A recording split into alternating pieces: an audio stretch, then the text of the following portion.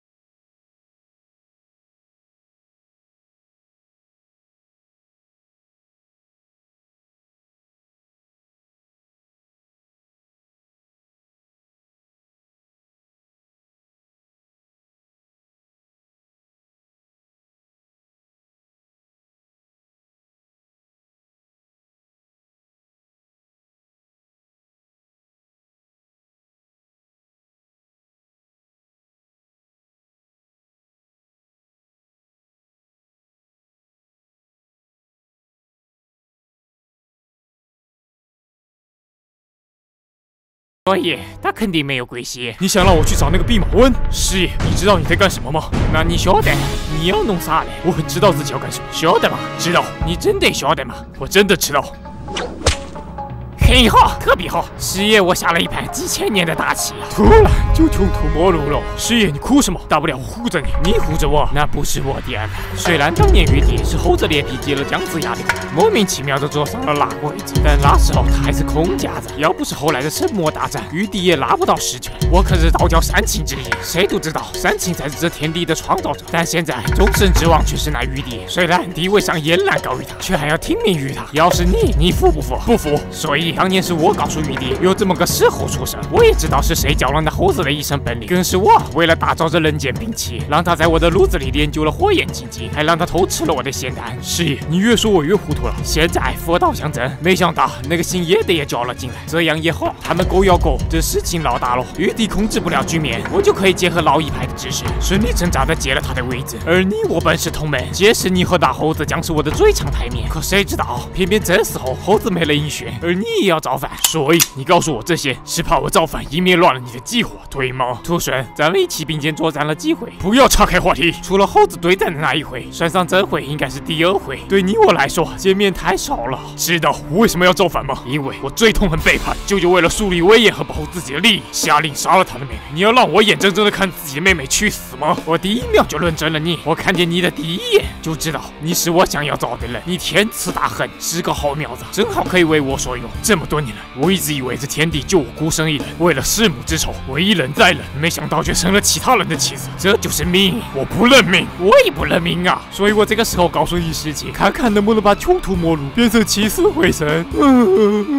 不要再哭了，再哭就到了。我牙子熟度呢，只要能救我妹妹，我愿意助你一臂之力。妹妹的事你救不了，那怎么办？但是你的外甥能救。沉香，你开什么玩笑？他还那么小，整个天庭就你的天眼能察觉到三界无形之外，但是范围有限，你得配合我的妖术才能洞察玄机。你要找到那猴子，然后帮他恢复神识。等那猴子取完经，至少还要四年。那时候你的外甥已经成年，你让你外甥去拜那猴子为师，到时候再送他你当年开山救母用的那把开山斧。你假装阻拦，一切顺理成章。但如果那时候你助我上位，那就另当别论了。我怎么才能确定你说的靠谱？你有得选吗？你真以为你能 只身一人打到天庭？我没记错的话，如果不是当年我用金刚拳偷袭猴子，你可能还打不过那猴子。我信你会。既然这盘大棋你下不了，我来帮你下。不愧是我的儿郎，行事果断利索。我忘了告诉你，等佛教一旦出手，你可以大开杀戒。反正猴子以前做过那个事，你应该晓得怎么做。师爷，灌江口已经过了，你这是要去哪？临别之前，我再介绍一个人给你认识一下。看清楚是谁了吗？也是个天赐大恨者。师爷，你可真会选人。虽然不是最好的人选，但也不是最坏的人选。你看，他又回来了。记住我说的话，找到猴子。师爷，那你不用管我，我和青鸟还有别的任务要去执行。好的，师爷，那后会有期。你不投，他不投，十三何时能出头？你不在，他不在，UP 哪里有灵感？硬币过两万，必定更出下集。啊！求求你们给两个币。